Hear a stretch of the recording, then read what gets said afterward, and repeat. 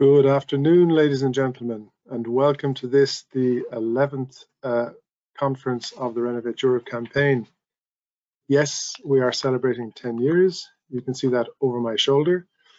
And uh, we're delighted that uh, you are able to join us uh, this afternoon. It seems to me that every year is an important one for the renovation uh, issues and uh, this year is definitely no exception, as you're about to find out over the next uh, two hours. What I want to do is I wanted to start with thanks. Uh, thanks to my staff, uh, the team, Caroline, Aphrodite and Ava, and also to E3G and our graphic designers, Francesco Madonna and Benoit Toussaint. Uh, they've done a great job this year, and I think we're going to have a very stimulating conference uh, just now as we uh, listen to the results of the study on the National Recovery and Resilience Plans, and we hear reactions from governments, policymakers, and stakeholders. Today, the main hashtag to use is hashtag renovate to recover. You see it in the bottom right-hand corner. And next slide, please. And we would like this to be as interactive as possible considering the platform we're using, which is GoToWebinar. It means that you're all in listen only mode and to interact with the panel, you must type your questions into the Q&A box. We will then monitor those and I will pitch them to the relevant speakers as we go through. I encourage you to uh, continuously uh, ask questions uh, because the more questions we have from you, the more relevant the conference will be for you. But a little warning, there are a couple of videos coming up during the session. And depending on your platform, you may be kicked out of the view you're seeing at the moment into individual windows. Don't worry, just re-enlarge the window with the video and everything should be okay. Next slide, please. So for those of you who may not know us, uh, the Renovate Europe campaign is a political communications campaign. Uh, we've been around now for 10 years and we have, we believe, had a big impact on EU policy over those 10 years. We're now at a position where renovation is on the lips of all politicians and policymakers at all levels. And we now see EU level uh, policy and strategies that are really focusing strongly on renovation. So we're very happy about that. The campaign has 49 partners. You see them here on this slide. Uh, they range from industry leaders through trade union organizations, city networks to think tanks, and on to the national level where we have 18 national partners who've been instrumental in preparing the study that you're going to see this afternoon.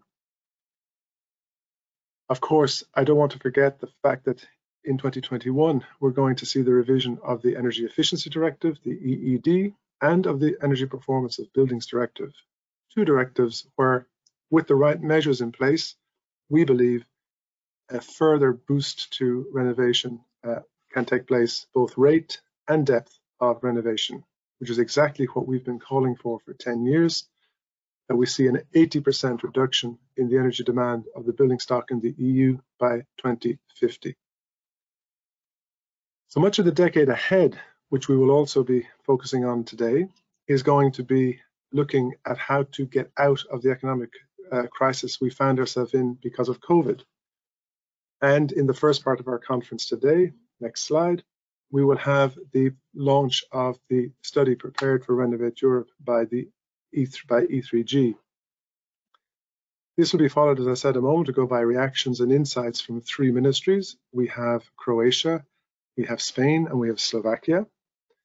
And we'll also have a unique insight into how to use the National Recovery and Resilience programs uh, to leverage private finance for renovation.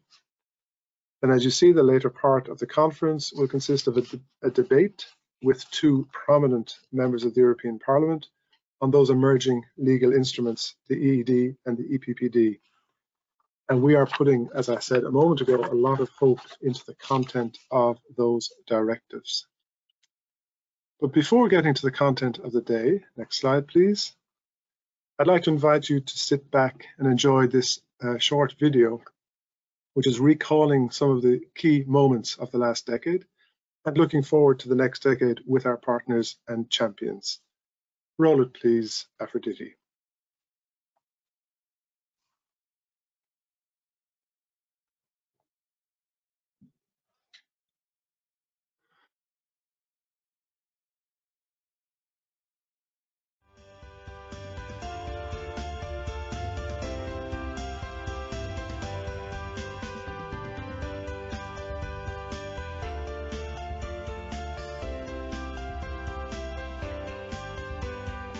Asking you today to support the, your, the Renovate Europe campaign, which this event officially launches. Renovation was was being ignored as one of the you know, it was clearly the most critical thing that we need to do for for climate change for the energy transition than it is is now and I think we we noted that whilst there was lots of work being done on, on new build and, and what needed to happen there renovation was was just not being taken seriously at neither the national level or the European level, and it was it was really important to to make that the case for renovation and to make people understand why it was so important and such a good idea in terms of climate transition to get onto renovation and focus on it.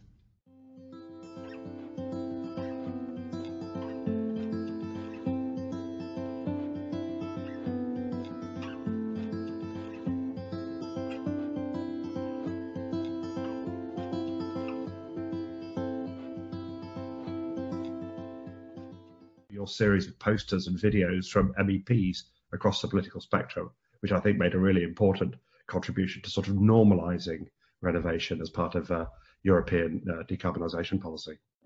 Secure our future. Renovate Europe.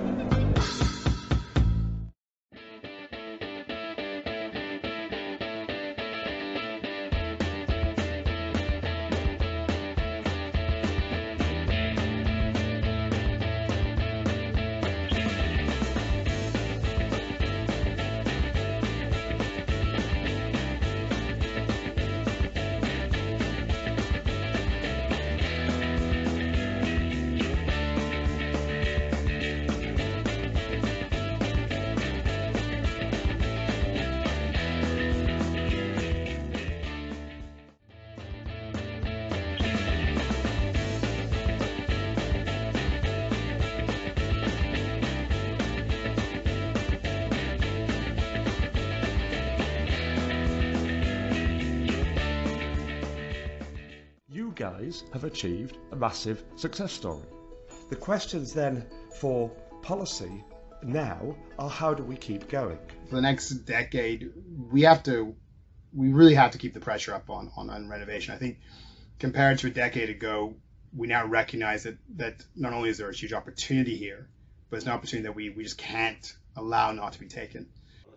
Uh, it's up in the next decade to implement this at national level and to really speed up the renovation rates uh, in the different member states. We hope for the years to come the general line should be kept. Maybe only the methods and the approaches will vary in accordance with the changing environment. We are sure the involvement of new partners and people will provide a splash of new ideas and solutions. I think in the next period uh, we would really appreciate also to play at local level a more important uh, role. Uh, you have had your own great ideas uh, in the last 10 years, uh, but in view of the revision of the EPBD, EED, and uh, climate obligations resulting from these and other documents in the member states, we believe that uh, it might be worth considering close and deep cooperation uh, by EU and the national contributing partner. Renovate Europe, I think, should focus on um, the implementation of different uh, strategies. I wish the team at Renovate Europe a good anniversary and an inspiration for the implementation phase that is coming for the 10 years ahead to get renovations really started. Thank you. Uh, the citizens are already paying attention to renovation. Um, this support uh, may have the right size and all we need now is to find balance between very many things. So that is going to need a lot of coordination and uh, what I would wish for the next uh, upcoming years is uh, even more and or even more um, active uh, national partners. Uh, we have to uh, create new business models and new approaches, new products, new services based on digitalization and high-skilled professionals. When we look at the next 10 years for Renovate Europe, I see that, that digitalization, we see that our buildings uh, are becoming more and more modern, so it's needed that we can communicate with the consumption and what we need and also what's the weather conditions. Let me congratulate you to your anniversary and let me wish you for the next decade that, that simply everyone acknowledges what we already know and advocate for and that's it. That's my wish. So good luck, take care, and see you next time. Bye. Mazāki apkuras rēķini, siltāki, patīkamāki mājokļi – tie ir tikai daži no ieguvumiem, ko sniedz ēku renovācija.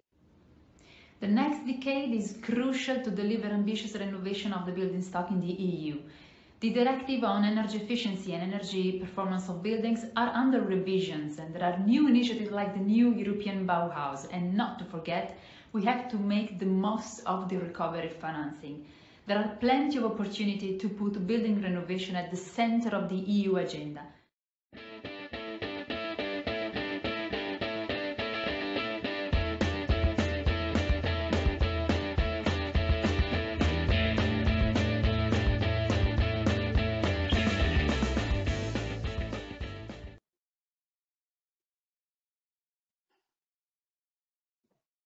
So I hope you all enjoyed uh, that video, that it brought back some memories of uh, what we have done over the last uh, 10 years and gave you some ideas about what we should do moving forward. And I think the theme of that uh, video will come out again uh, as we go through the uh, content of the conference.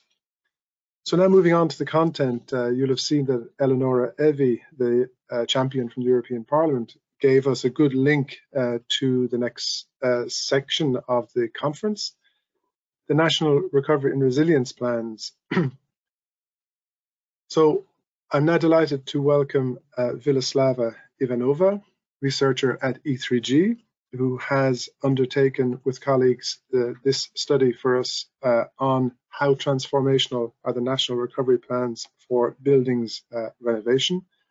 Vilaslava, over to you uh, for the presentation of the study. Thank you, Adrian. Um, I hope you can hear me okay. Um, thanks, oh, everyone. It's, thanks. It's a great pleasure to be here and happy anniversary from my side as well. Um, what I will do today is, pre is, to present a study that we've been undertaking over the last couple of months with Renovate Europe national partners, um, who have been absolutely instrumental in the delivery of this work. Um, so if we move on to the next slide, please. So uh, what I'll go through is uh, the study itself, how we approached it, uh, then the key findings and best practices we managed to identify, um, our key recommendations and next steps. Um, so going into in, into the next slide, please. Um,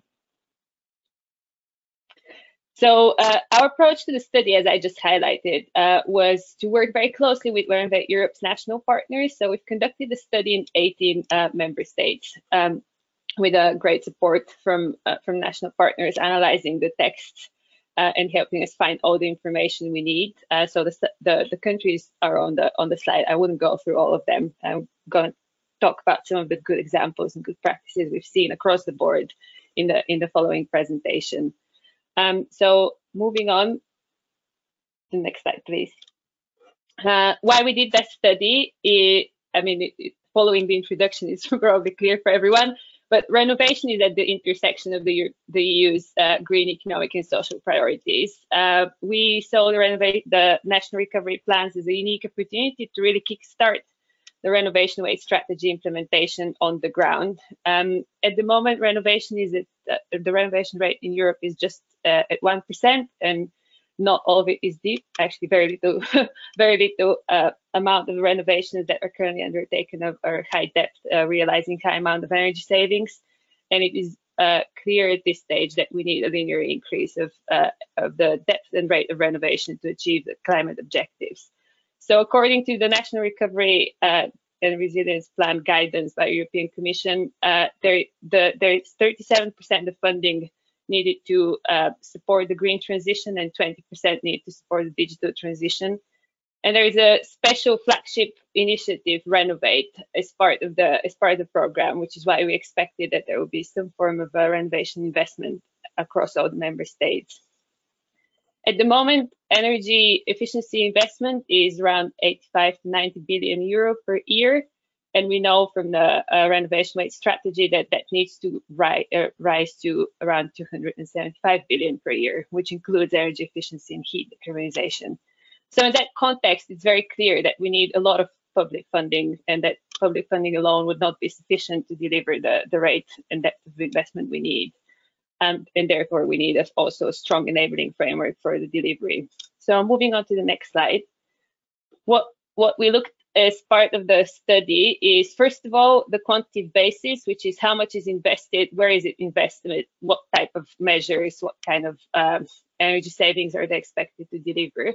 And the second second aspect was more around how transformational the, the funding is and how much does it uh, how much is it likely to boost renovation rate and depth and uh, address other barriers to uptake and support enabling wider enabling conditions. I'll go into more depth into what we meant by that in the in the following slide. However, just to highlight that we see the study as a starting point and as it will be discussed further, uh, regulatory measures would be equally important, if not um, to support delivery on the ground. In terms of our approach to the study then, uh, we're creating an assessment framework around five assessment criteria. I will go quickly through uh, all of them at a high level, and there is a way more detail into the actual report. So it's a qualitative assessment, and we focused almost exclusively on the investment measures uh, because there, within the within the plans, there are quite a bit of um, regulatory changes as well, which were very country specific. Uh, so I thought it was a more appropriate to focus on the investment measures, which are more comparable between the member states. Uh, it was based on a preset uh, assessment criteria, set of assessment criteria, in which we applied to all countries. So the five criteria are target setting, financial landscape, integrating multiple benefits, supply chain project support, and implementation framework. So within the target setting, what we try to assess is how clear the targets are in terms of what renovation funding uh, is expected to deliver, how well it is aligned to long-term renovation strategy and what depth of renovation is supported, whether it's medium or deep renovation. On the financial landscape, what we looked at is the degree to which uh, it is clear what the investment needs are within the country, whether they're articulated, whether it's clear how much uh, the recovery funding would serve alongside other sources of uh, public funds and also the degree to which it is clear how much private finance will be crowded in through the investment. In the criteria around integrating multiple benefits, uh, we looked at four different things. First of all, uh, how whether countries are targeting energy poverty alleviation explicitly, uh, how much the energy efficiency first principle is applied when it comes to heat decarbonization, uh, what measures are in place around to encourage digitalization in the renovation process, and finally, how much measures are linked to wider social benefits, uh, for instance, adaptation or accessibility. In, in the fourth criteria, which is supply chain and project support, what we looked at is uh, whether there is investment flowing towards the improvement of skills um, and, and also technical assistance such as one-stop shops or uh, assistance for other um, for municipalities or other delivery bodies. And finally, in the implementation framework, we just looked at the clear, how clear the institutional setup is in terms of who's delivering the plans and what responsibilities they have for them, and also what kind of targets are in place, including uh, milestones and intermediate milestones. So moving on to the next slide, please. Uh, based on that study, we uh, we got to our key key finds uh, key findings and some best practices, which I'm going to cover next. Um, so moving on, please. In terms of volume and the focus of investment, what we found is that across the 18 member states we looked at, uh, investment is around 40 billion euro. That is around 8.5% of the total total funding allocated under national recovery and resilience plans in most most countries allocate between 11 and 14 percent of, of their funding to renovation. Uh, and there are significant variations between member states as you would expect from below 100 uh, million in Slovenia and Austria to 7, 8 billion in Spain and Italy. Also, of course, the per capita differences are quite significant as a result of this. The residential sector is by far taking the lead. So around 22 billion of the 40 are flowing towards residential sector investment uh, in different types of residential buildings, depending on the country's characteristics. And public sector follows with 14 billion or 34%. So in most cases, what we saw is that countries have uh, countries expect to deliver at least medium depth renovation with the with the measures they've put in place that is realizing at least 30% primary energy savings. Uh, so moving on to the next slide. Um, the, this, uh, the question to degree to which uh, plans are transformational is the one I will turn to next. So across the five criteria, we saw uh, we have five country, countries which are story, scoring strong on the, the degree to which demonstrate clear targets and ambitions beyond medium depth renovation and how well they're aligning their plans with long-term renovation strategies.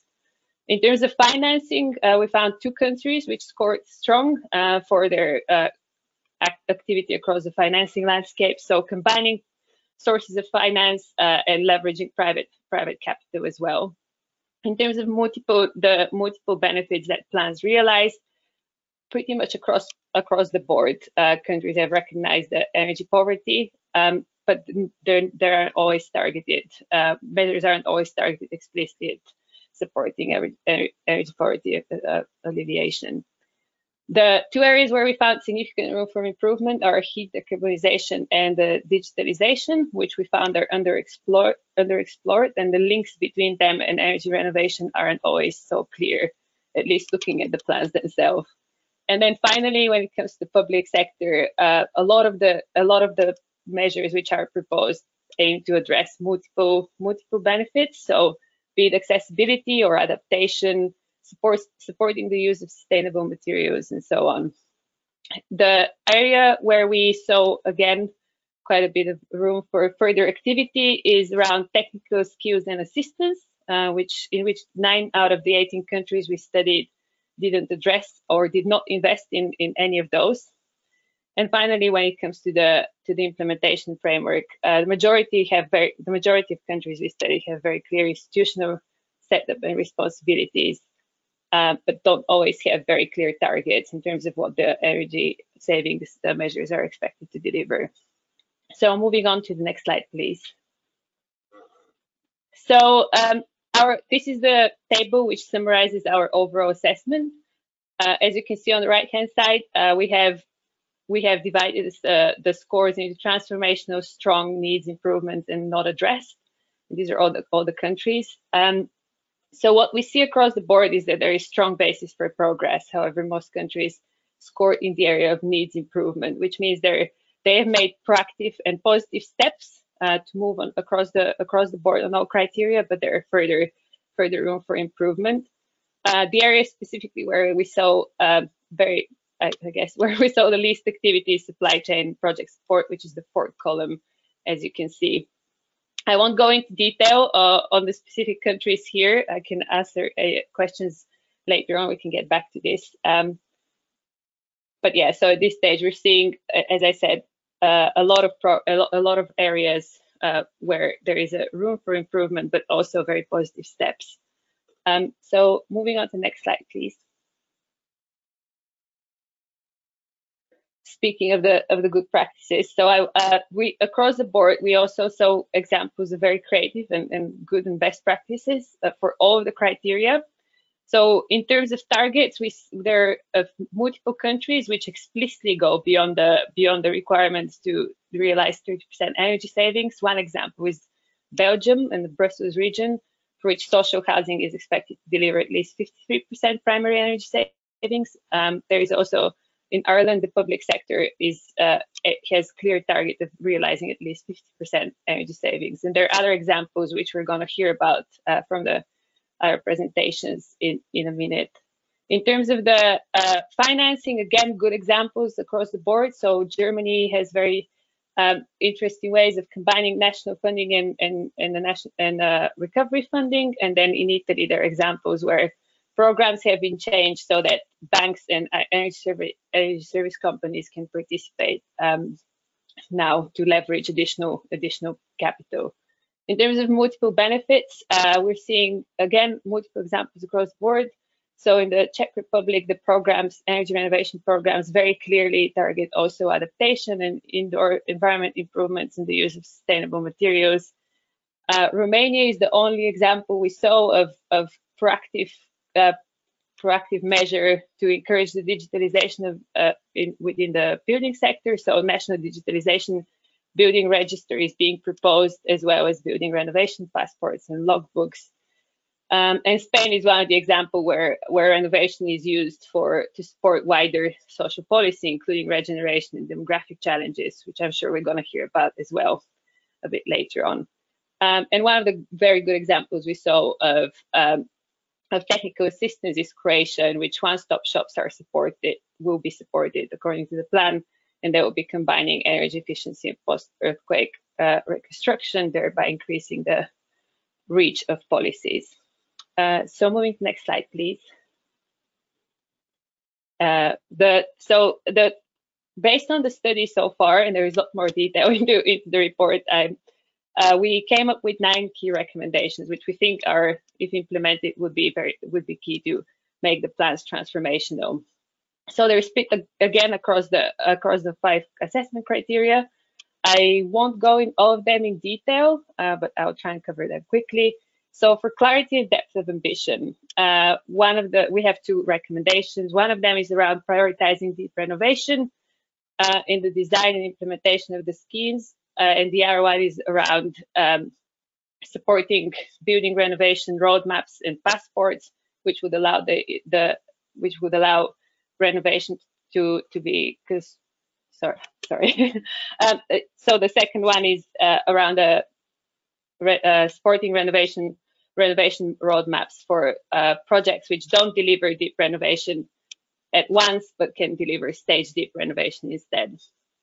For the financial perspective, as I said, uh, the key recommendation is around crowding in private finance um, and supporting the longevity of the scheme of the schemes, making sure that they go beyond uh, the financing period till 2026.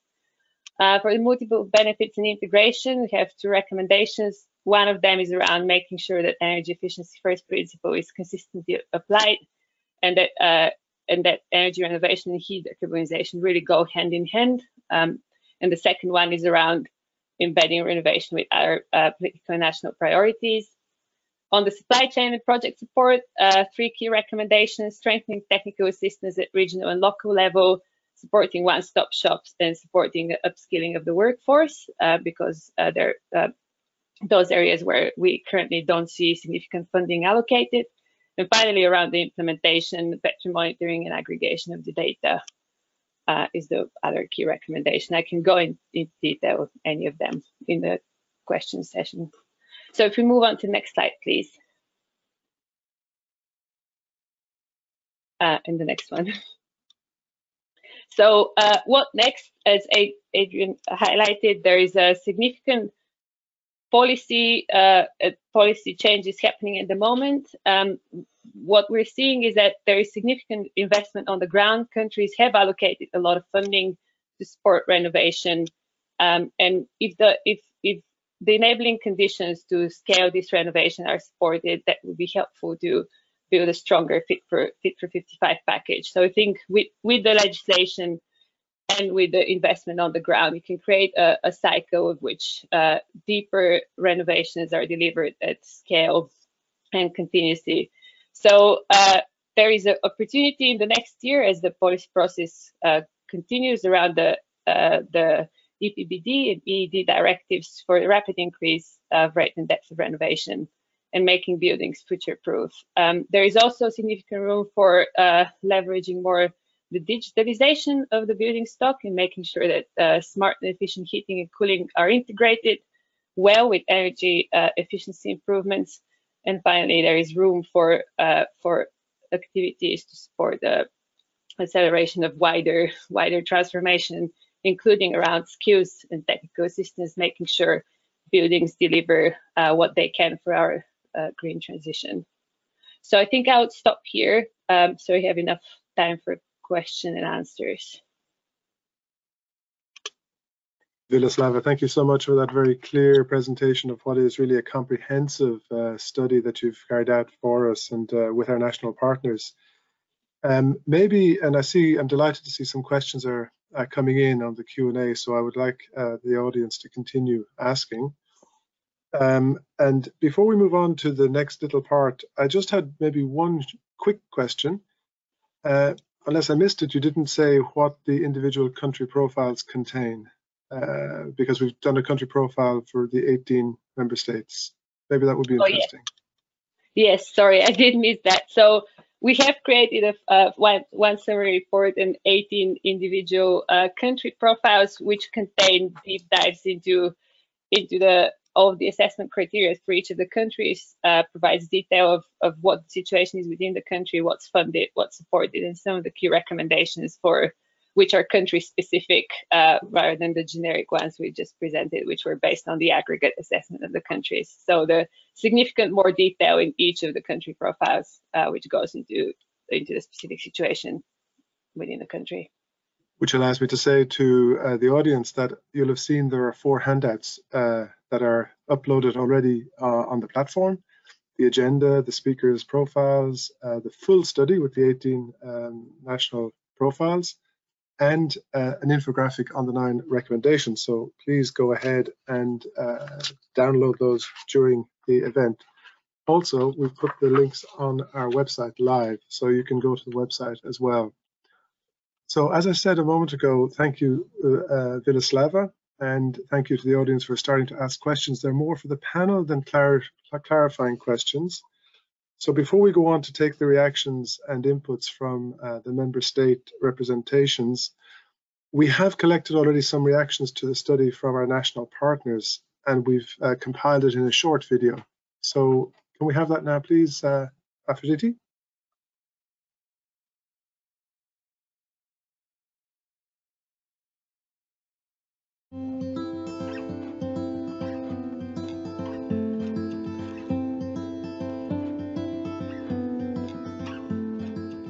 Becoming a national partner of Renovate Europe coincided with the beginning of the realization of the idea for the national recovery plans. During the preparation, the constant contact with all the partners was very fruitful. We are sure the experience and the contacts will be extremely helpful during the implementation of the recovery plans Polish uh, National Recovery and Resilience Plan, we in Fala Renovacji wish that it would be a practical document uh, implementing the energy efficiency first principle in Poland.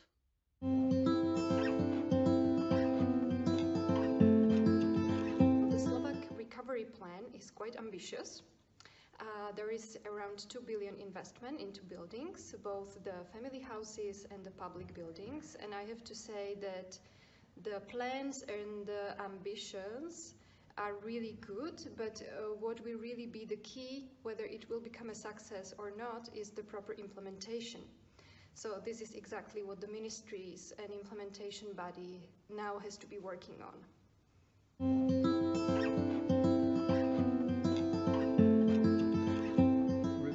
Spain, um, the recovery funds uh, may be a game changer or maybe not, but the situation is ripe and the conditions are there so that uh, it happens. Uh, the citizens are already paying attention to renovation. Um, this support uh, may have the right size and all we need now is to find balance between very many things. So that is going to need a lot of coordination and support and facilitation, obviously, but uh, we're here for that. Thank you.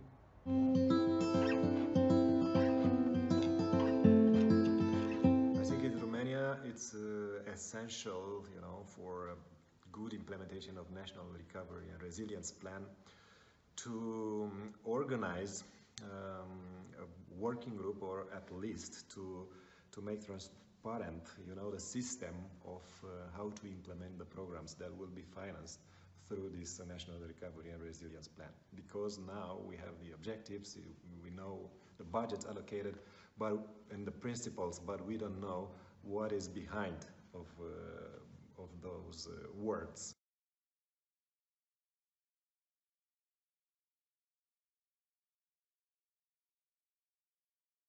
So thank you to our partners for uh, sending those reactions in. And uh, Philoslav, in the meantime, a question has come in for clarification. I think we could take it now, which is, could you share information on the per capita allocations uh, for renovation?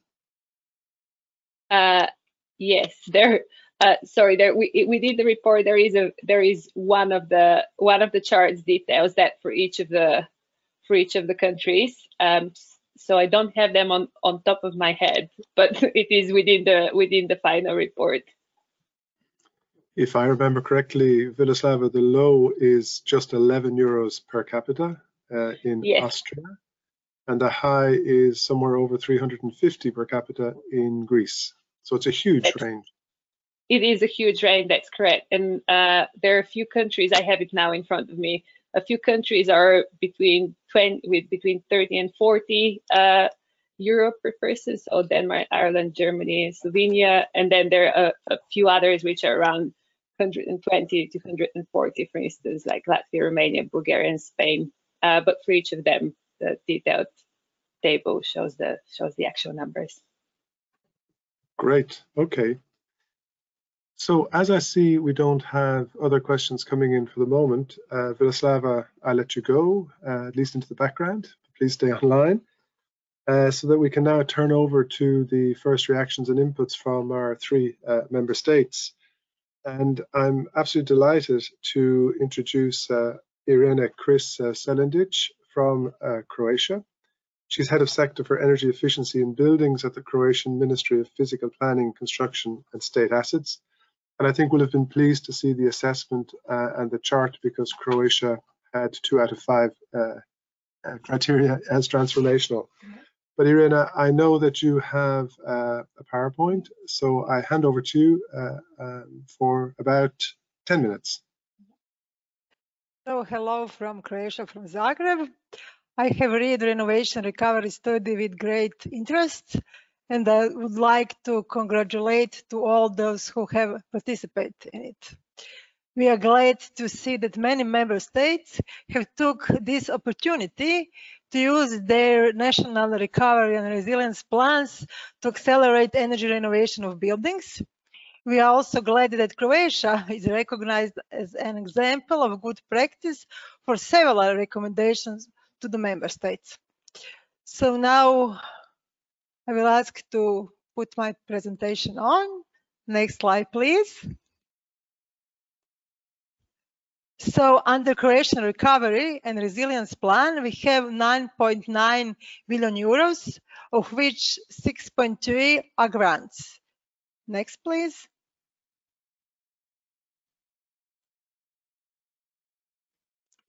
We have five components and one flagship initiative, building renovation.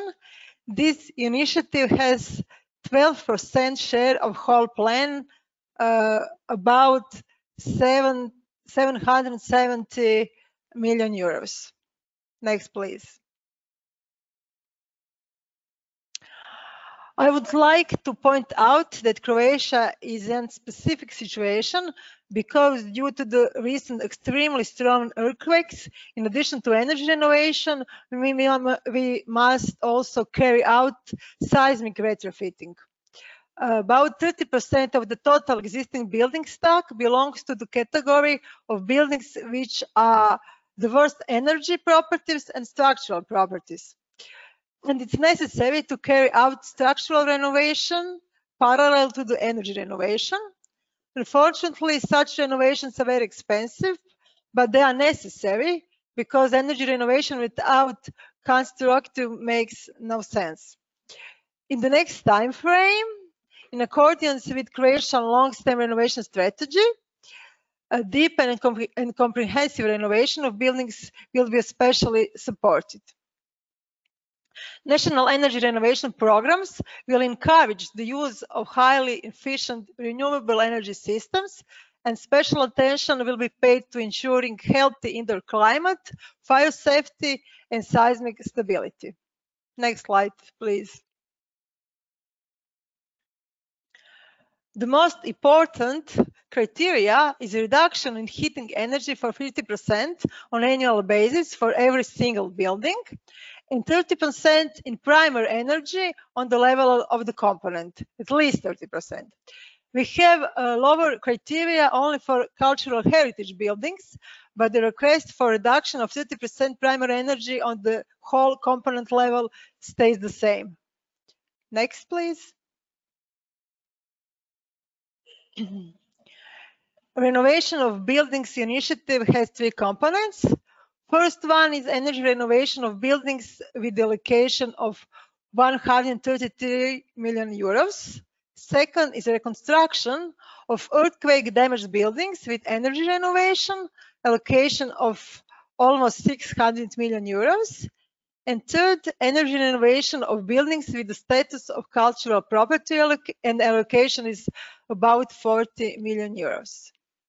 Next, please. So for higher savings, we are providing higher grant rate.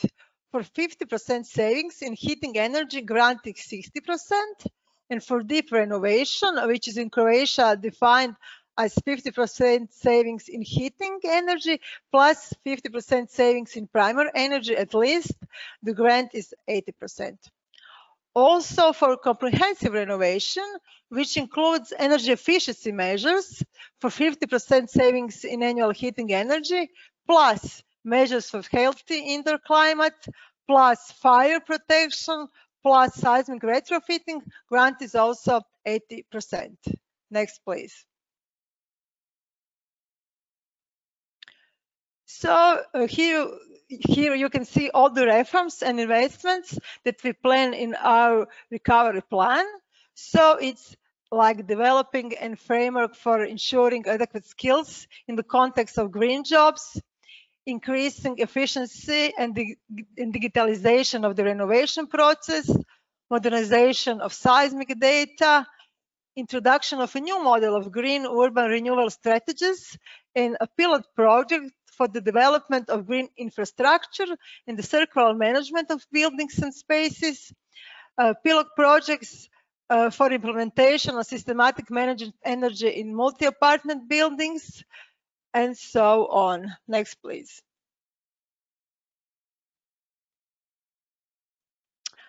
We face many challenges in energy renovation of buildings.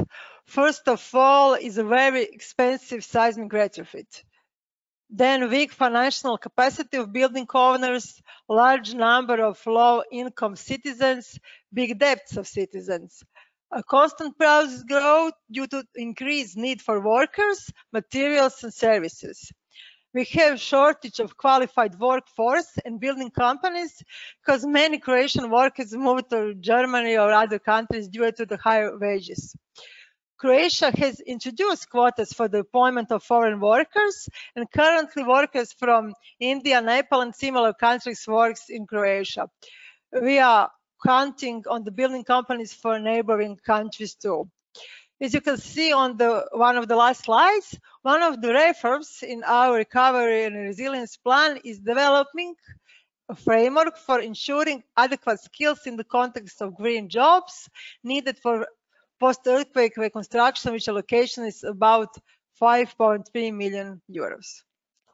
A slide next, please. Uh, funding is always a big topic. Due to the already mentioned earthquakes, Croatia has to invest large funds into the emergency removal of dangerously damaged buildings, temporary accommodations of citizens, emergency rehabilitation, and so on, all during the pandemic period. Uh, in the next period, both national and European solidarity funds uh, are used and will be used. We are currently developing energy renovation programs for buildings by 2030. You can see all the programs on this slide. And for the first three years of implementation, from 2020 to 2024, we anticipate the use of funds from the National Recovery and Resilience Plan. From 25, uh, financing from national funds and other EU funds is planned, such as the so Social Fund for Climate Policy, the multi-annual financial framework for the period 2021-2027, the Croatian Bank for Reconstruction and Development, and Croatian Environmental Protection and Energy Efficiency Fund. Thank you for now. Thank you, Livia. Uh, sorry, thank you very much, Irena, for that uh, presentation and for jumping into a bit of the detail because I find this interesting. Um, uh, the audience should know that they will find uh, information on the detail that you showed in the table, also in the annex to the country report, uh, where we have extracted uh, what the programs are, the timeline, the volume of money going to the different programs, and I'm encouraged to see that uh, you know we, we, seem to have got it right. so hmm. Uh, if you can stay with us uh, for the next uh, presentations, Irena, and then we'll come back maybe with some further questions. Okay. Because now it's time for me to introduce our second ministry speaker. I'm absolutely delighted to welcome uh, Hugo Lucas, who is the advisor to the General Directorate at the Institute for Energy Diversification and Saving uh, of the Spanish Ministry for the Ecological Transition and the Demographic Challenge. Uh, Hugo, we look forward to hearing your reaction to our study and maybe to some insights on particularly Spanish aspects. Over to you. Thank you very much, Adrian. Uh, good afternoon, ladies and gentlemen. First of all, I would like to thank uh, the Renovate European campaign for the invitation to the Spanish government uh, to present uh, our opinion on, on, the study and a little more in detail some of the policies that we are including in our national recovery plan. Also, of course, to wish you a happy 10th anniversary and to congratulate you for the study Renovate to Recover. I mean, in policy making, you have to take uh, informed decisions, and to take these informed decisions, you need knowledge products. So we very much welcome uh, this study because now they are going to be allocated an unprecedented amount of money and uh, we need these best practices uh, because it comes in the right time now when we are going from policy to concrete support schemes and the designs and implementation of uh, particular or specific support schemes on energy efficiency in buildings. Um, these guidelines, these best practices are pretty, are pretty, very, pretty much uh, welcome. Uh, first, I would like to give you some general remarks on the Spanish recovery plan. The recovery plan is what we call a country project. It's the transformation and modernization of our economy and productive sectors that will allow us to achieve greater resilience to future economic shocks and uncertainty scenarios.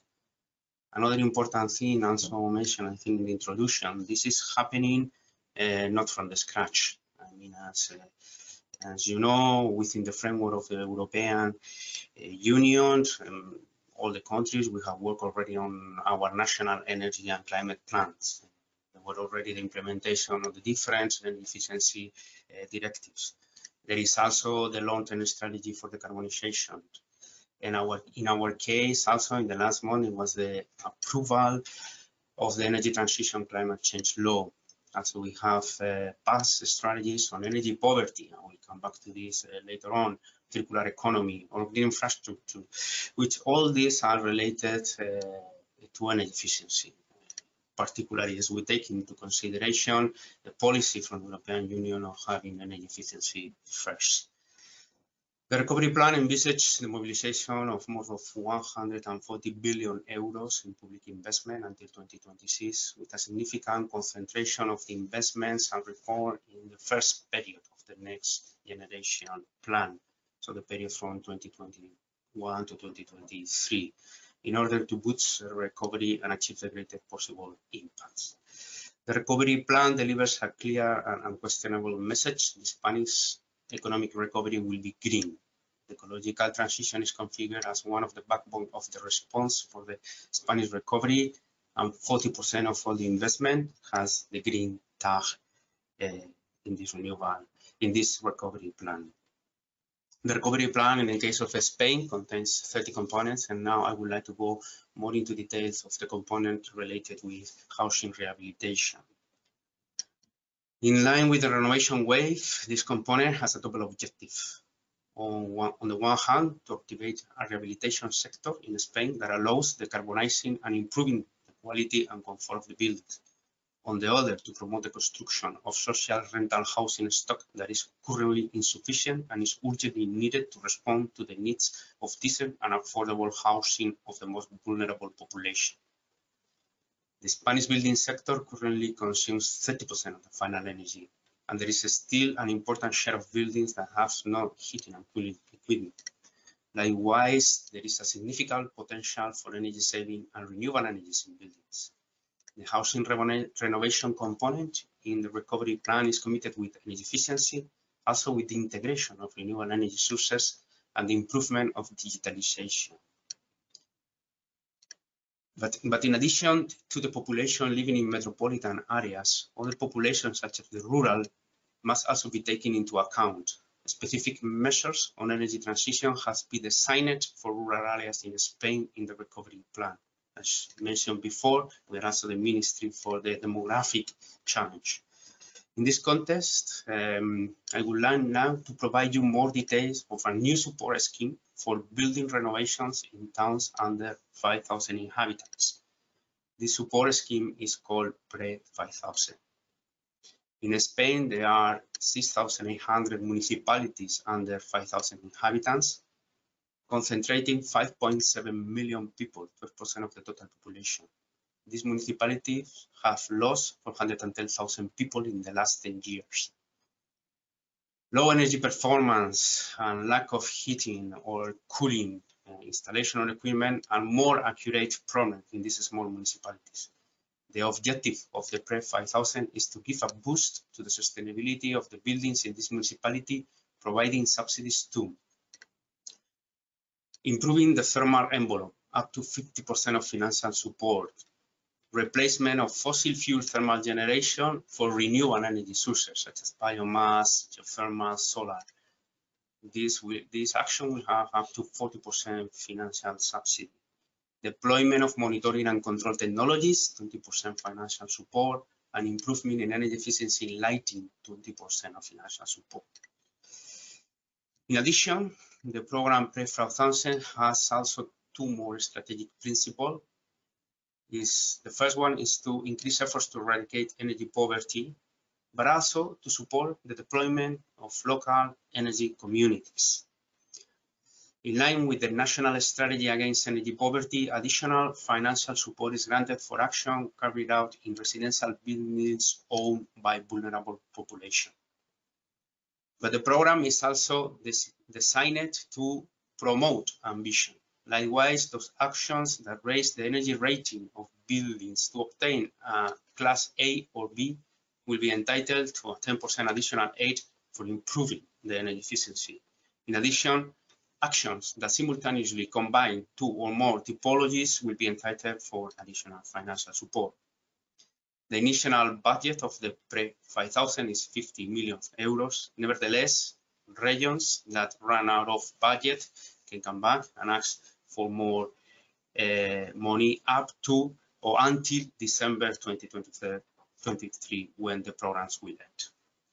So to conclude, I will want, would like also once again uh, to thank Renovate European campaign for the invitation to speak in this fora and for this report. And since energy policy is a learning by doing process, I would like to encourage also to do a continuous monitoring and assessment of the different schemes that we all countries have uh, stated in our recovery plan.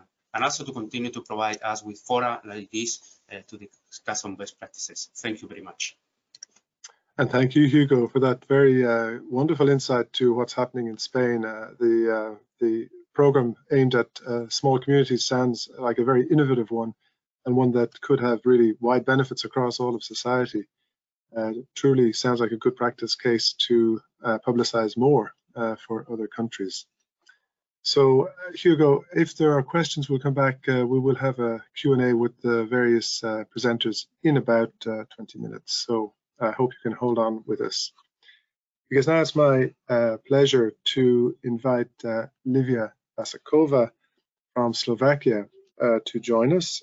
she is an advisor to the Prime Minister and Director General of the Recovery Plan section of the Government Office of the Slovak Republic. Livia, um, maybe you could put your camera on and uh, take about eight to 10 minutes for an intervention with your reaction to the study and what's happening in Slovakia.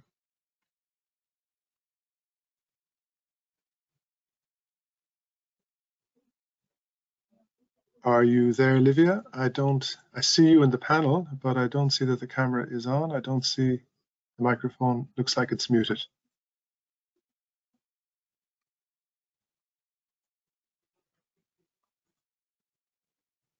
Livia? No, I'm not getting any action there. Um, maybe we'll come back to Livia uh, after our next uh, present presenter. Maybe we can iron out the technical issues uh, in the meantime. So I hope we can uh, get that sorted. So let's move on because we have also a presentation on how to leverage private finance uh, from uh, James Hooton. James is the program director at the Green Finance Institute. Uh, he'll tell us a little about it now and indeed has a, a presentation of PowerPoint to share with us. James, you have about 10 minutes. Thanks, Adrian. Thanks for thanks very much for inviting me. Congratulations on your uh, on your anniversary, and um, and also your very impactful report with uh, yourselves, your team, national partners, and uh, and E3G as well. Um, so just onto my first slide, please. Thank you. So I think we've talked about it. One of the recommendations from the study is the the need to unlock private capital, and I think this slide just demonstrates that sort of inescapable fact. Three and a half trillion euros is the estimate about in terms of the sum of what's being spent already, plus the gap that needs to be spent on Europeans, um, the EU's 220 million buildings over this decade. The the 296 billion there is a is an unrealistic assumption I made in terms of if every member state allocated 37% of green spending to building renovation. So that's that's just there as an illustrative point. Um, and to balance the equation, obviously there's private capital, but we shouldn't forget about the benefits as well, and the benefits in terms of job creation, healthcare, reduction in healthcare costs, and social savings that are, that are just as important, if not very important. Next slide, please. But it's it's just not about it's not about just the financial sector. There are three key components that we see for systemic change. Enabling policy environment. So we need a policy ambition that's backed up by enabling long-term legislation. And that's enabling because, and it needs to be long-term and patient because that's something that then the supply chain can invest into and prepare themselves for. And that supply chain, which is represented here in terms of technical assistance, means we have to set up a quality assured, accredited national supply chain. And as we know, currently at the moment, we're seeing issues with that.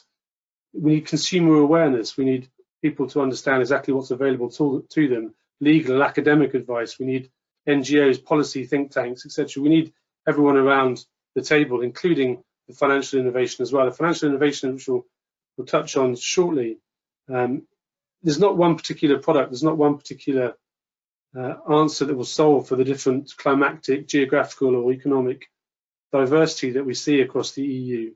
So we'll need these three key components to come together to answer this question. Uh, next slide, please. So, so this is really about moving from the what to the how. You know, how do we bring public, private finance, philanthropic capital to co-design the solutions that will enable us to mobilize capital at the pace and scale needed in the real economy? And the Green Finance Institute, we're big believers in, in these public-private partnerships and in coalitions that can catalyze financial innovation. So these coalitions of which we, we appreciate absolutely some exist across the European Union at the moment. We're absolutely outcomes focused here. So what are the financial products? What are the data enablers that are going to overcome the existing barriers? And typically they're split into two sections. The first off is to let's identify those barriers. This what's the sectorial review across owner occupied, across the private rental sector, across social housing. What are the barriers that are stopping investment into renovation? And then secondly, splitting the teams up into working groups to actually design those products, design the demonstrator projects that will look to unlock uh, and create the, the flow of capital into, into the renovation. Next slide, please. So the next two slides just will touch on some of the, the ideas, some of the concepts that are in, in play at the moment. And I think it's here it's really key again, it's the systemic change. And this is about, on this slide here, is about creating demand certainty, as I talked about, that the supply chain can invest into. And really, yeah, I think how people talk about this is around having legis legislative carrots and sticks. And so, for instance, on here you can see some sticks potentially, some mortgage portfolio standards, um, minimum energy performance standards uh, around you know, particular standards for, for housing to meet. So making the government legislate that. But they can also go hand in hand with, with carrots as we talk about it. So for instance, uh, the, the Green Building Council has proposed a property purchase tax rebate. Um, so for consumers, when they buy their house, if they perform a renovation within the first two years of ownership, they'll get a rebate back from the government on the tax initially paid. Interestingly, A, the, the rebate isn't enough to pay for the entire renovation. Um, it's really a nudge, it's a trigger to say, I'm buying, I'm making one of the, the biggest investments of my life. Um, what, what am I tying myself into from an energy performance perspective? Um, and also the, the, proposal is designed to be revenue neutral to the Treasury. So it's a sort of a win-win, but the key here is your supply is generating the demand. There are key trigger points within the life cycle of a property whereby it can now get renovated. Uh, on to the next slide, please. So this is some of the specific outcomes of the, the Coalition for the Energy Efficiency of Buildings um, from the private side, from the demand side. And again, so we're looking here at data enablers and then particular financial products. And I think one of the key points to make for this slide is that actually not all of the ideas are new. Um, and you, I'm sure many of you will see ideas here and, and concepts here that are in discussion in your countries or even internationally. And I think the point to make is that the coalition is able to sit down and work out the fact that these products are replicable, um, but how do you adjust them to your local conditions? And one of the key things that we're very focused on is combining and bringing these things together. So for instance, from a building renovation passports that we we rolled out recently, how do you combine that with a mortgage lender, for instance, that's issuing green mortgages uh, and, and, now we do have in the UK at the moment mortgage lenders that will tie a new issuance of a mortgage to a, an energy survey to a building renovation passport to create that a the awareness of the property you're buying, but to create that long-term demand to know how do you tie in what the building property renovation looks like over the course of the next five to 10 years. How do you do that and what does the funding, the financing look like? And there are also financial products as well that uh, are either in, in in chain at the moment or they're, they're in they're out in the world, uh, in the UK certainly, and and in other other countries. Green rental agreements, um, which are about splitting the cost of rental property renovation. One of the the key issues discussed is around split incentives, and this aims to share equitably the the capital uh, and then the operational expense or the reduction in operational expense of a of a building renovation? How do you split that between the landlord and the tenant, particularly in a in a cold rent scenario? Uh, property linked finance, uh, renovation liability, which is tied to the property. So in the UK, that would take a second lien behind uh, behind the mortgage, and we're just trying to work out at the moment how that actually works. I know this has happened in EU countries as has happened in the US and Australia. So we're trying to work out how to link this. But again, this is in the able to pay market. How do you make sure that people are able to renovate their property and not worry about selling that in the short term and being left with a capital outlay that they're not going to recoup? And lastly on here, local climate bonds, which are a very innovative way of actually of getting regional authorities accessing separate funding stream from their local communities for green projects. It's similar to, to crowdfunding, but it gives people in their local communities place-based ideas of exactly what's happening uh, with solar panels, whatever it might be, greening a local environment. Um, but it's a really good way of tying people in in a local community into the into the revolution. Next slide, please. So just finally, I'll just finish on this. So the time is now. You know, the next generation EU funding ends in 2026. The opportunity is now to use this public capital to crowd in private finance. Uh, and there are, you know, for us, from our perspective, the way to do that is to get everyone around the table and co-design the solutions. Uh, and I know there are Horizon 2020 and uh, Innovate EU coalitions out there. Adrian, some of your partners have been discussing on videos implementation. And so we're actively, uh, we've been reviewing those countries and those partners with E3G. And we're keen to partner with those around implementation in, in the near future. Thank you.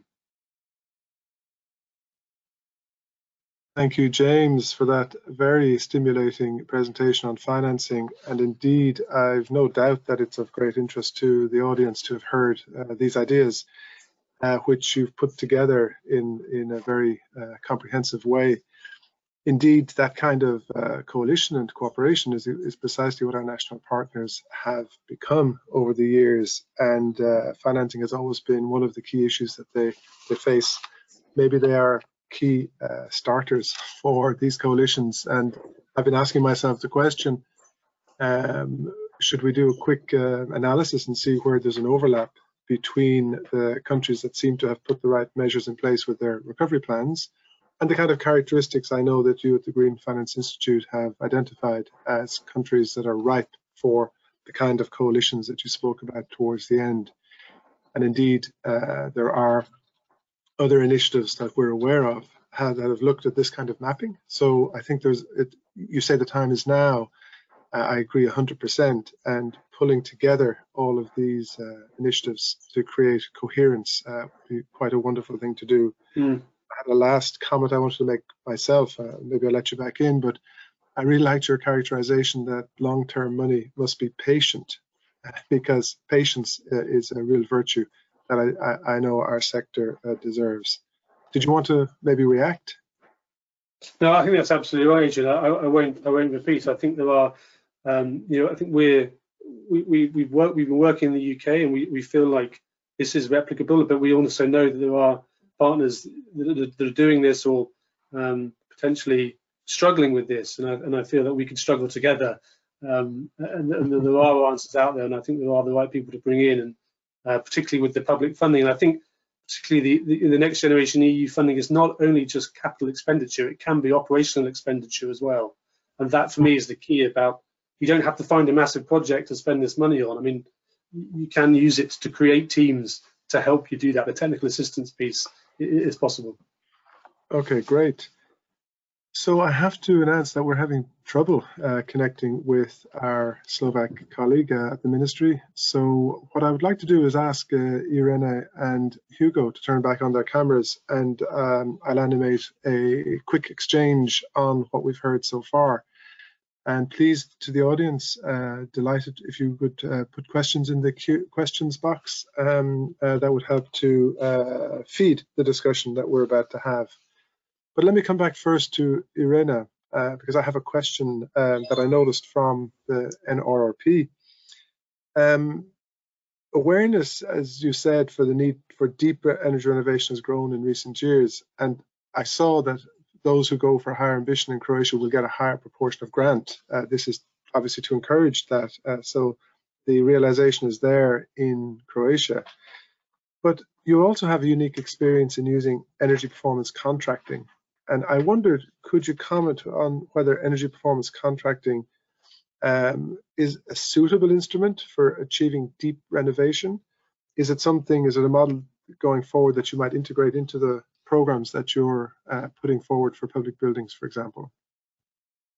So Croatia has successfully implemented the ESCO model, which has proven to be the best model in the renovation of public buildings owned and used by the central government, with uh, 70 buildings being renovated. The average savings were around 52% and share of renewable energy uh, was about 20%. I will name only a few projects, uh, Clinical Hospital Center in Split, Šibenik, Karlovac, Kindergarten in Cres, Sports Center Poljud in Split, uh, Zagreb Prison Hospital, University North in Varaždin, and Police Academy in Zagreb. So Croatia is recognized uh, for its successful ESCO model, and it, I would like to announce that it will be implemented again in the coming period according to the National Recovery and Resilience Plan, private capital will be used on the basis of energy performance contracting in the amount of 60% and 40% of the investments will be financed by the grants from uh, recovery and resilience plan and 250 million kunas allocated for this purpose and purpose is uh, renovation of public building sector. So we already, already implemented this in our recovery and resilience plan. Okay, and I think that's a very interesting experience. And uh, I mean, I have no doubt that other countries would, would maybe like to learn from that experience. Um, Hugo, turning over to the Spanish uh, um, context, you mentioned a couple of times the idea of affordability and eradicating energy poverty it seemed to us as well that this was a real pillar of the NRRP. Is is the recovery money coming to boost existing uh, measures and schemes, or will this be a fresh uh, program that's coming forward in Spain on energy poverty specifically? Okay, thank you very much for the questions. Um, I mean, I think we are all aware of the situation that we are going uh, through now with the prices of uh, energy. No, so on this vulnerability, uh, discussion is even more important uh, at this moment. Uh, since uh, 2018, when we approved our national strategy for energy poverty, we have, have implemented different measures to provide support to vulnerable people. Um, the, the, the, most well-known uh, are the electricity and heating bonus. So it's really uh, a minimum of consumption that they will not have to pay. But with this, we also have already identified which are these vulnerable consumers, who are this vulnerable population. So the goal now is when you are drafting other measures, uh, like the program I explained, the 5,000 rehabilitation energy in buildings with in municipality of less than 5,000 people, then uh, these uh, vulnerable people will have uh, will be topped with an extra aid. No, so once you have already identified which households are vulnerable, what you can do when you design the other programs, and what we are um, mainly doing is for these vulnerable people increase increase the support and sometimes going to support the 100% no um, and in addition also um, we have a specific uh, support for vulnerables when we have to apply mandatory regulation from the European Union. So, uh, for instance, when you have the meters are homes, know, buildings that have uh, central heating, and now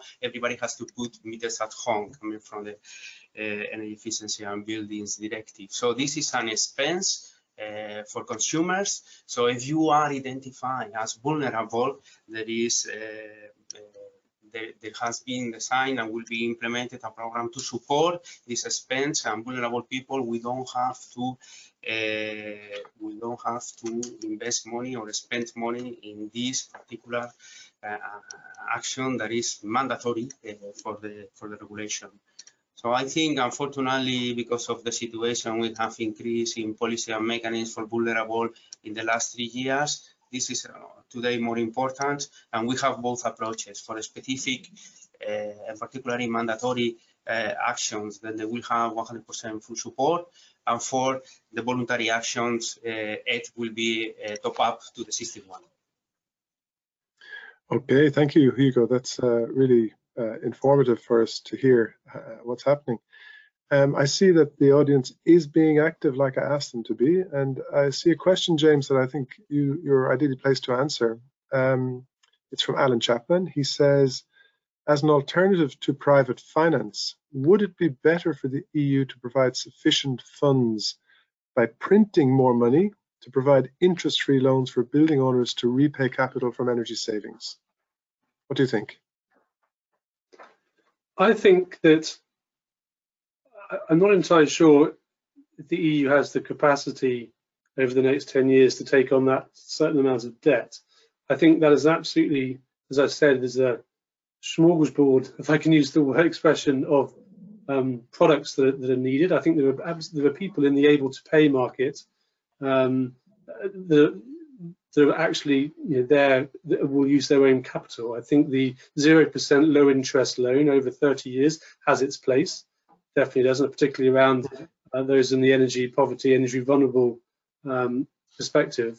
I don't think that the entirety of the challenge will be met that way.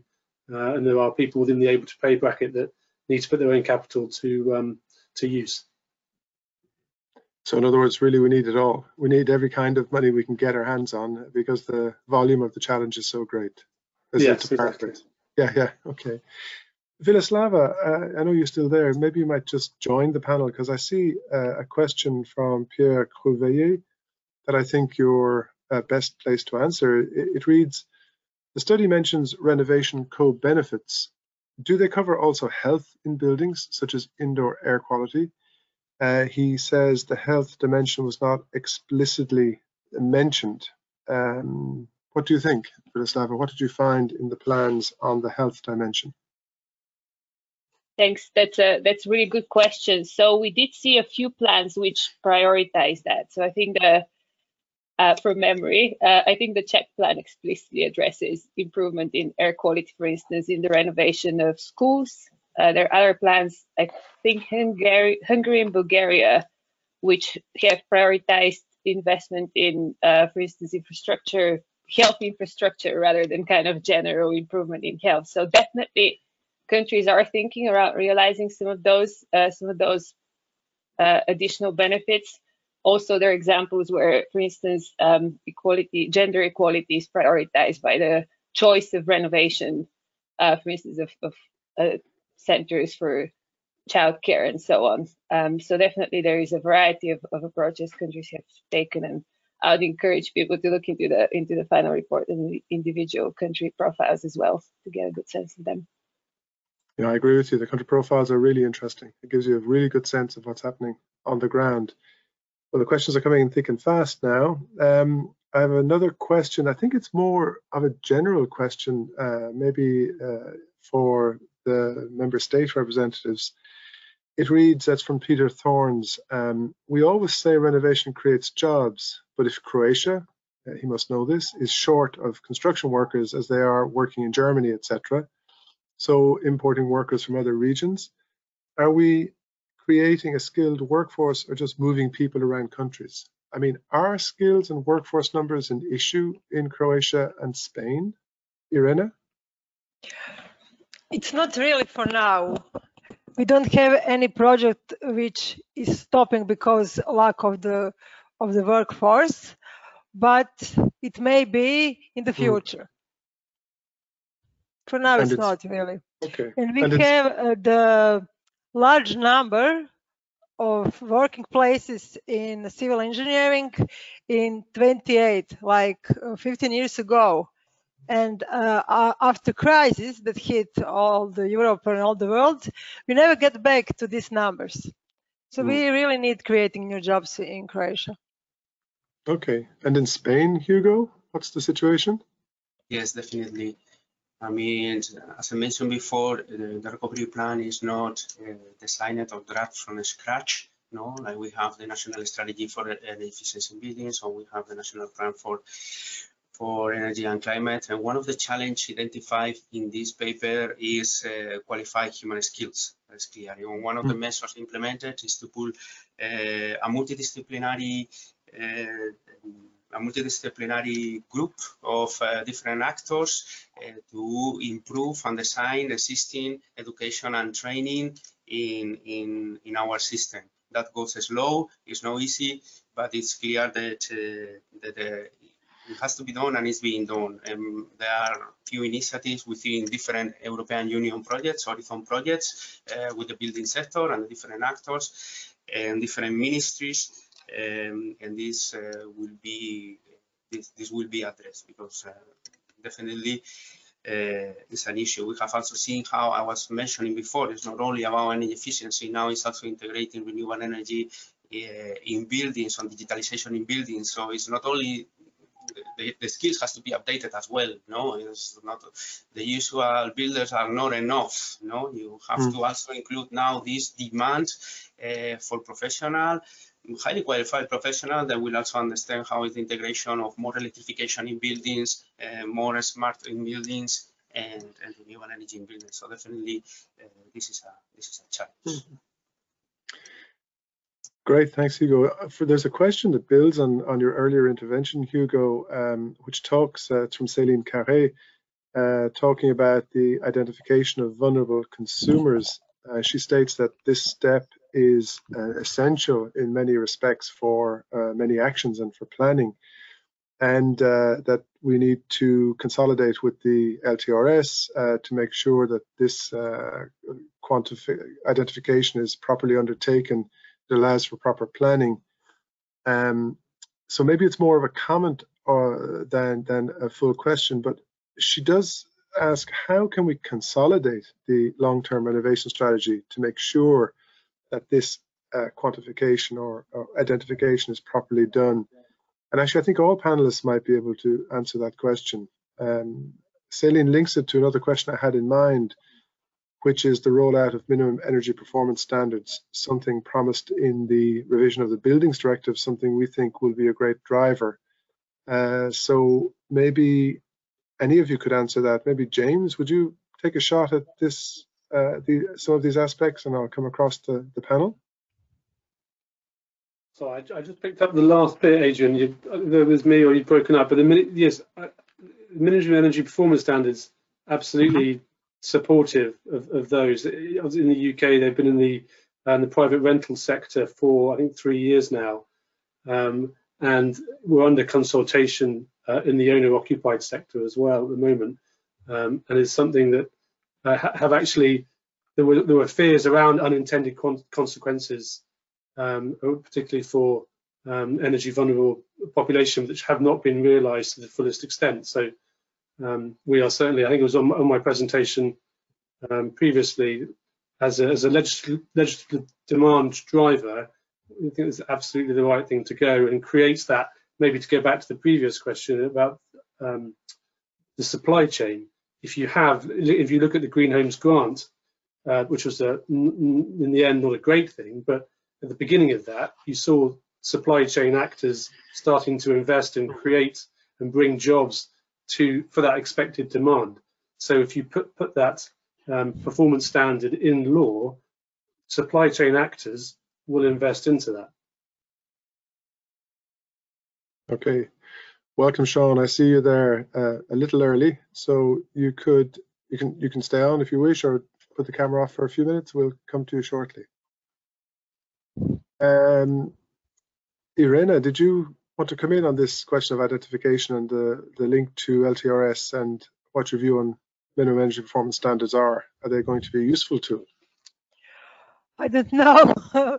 we are waiting for the proposal from Commission because, as I said, we have two problems, uh, seismic retrofitting and energy retrofitting at the same time.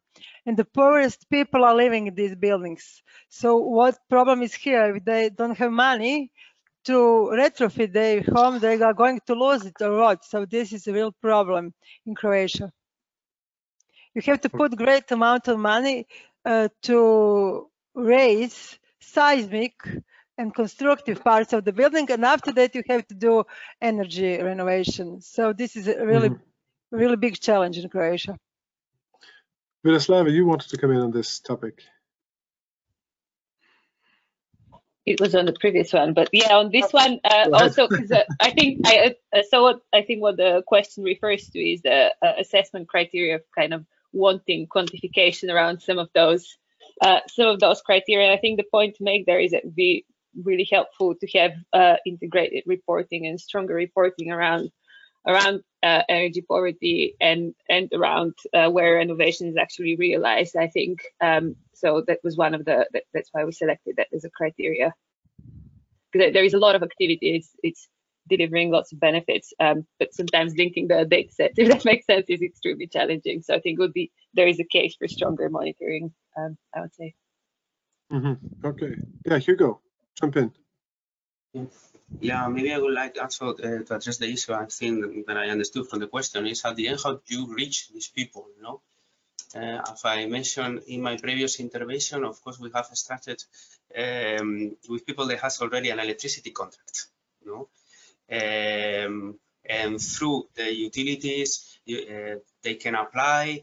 Um, they have to commit with different criteria. Many of them with the incomes of this household, but there are other, also other criteria, such as all people living, or if it's uh, one single uh, parent family, so on. So, but we, what we have found also is that many of these people they don't have a bank account. So I still have a remaining national budget for two years ago uh, for people that we have identified they they they um, they, they are they are vulnerable, uh, but they pay in the window the electricity uh, with cash when they have the money, and we still um, have not able to mm. reach them to transfer the money uh, for subsidies for being vulnerable for energy poverty.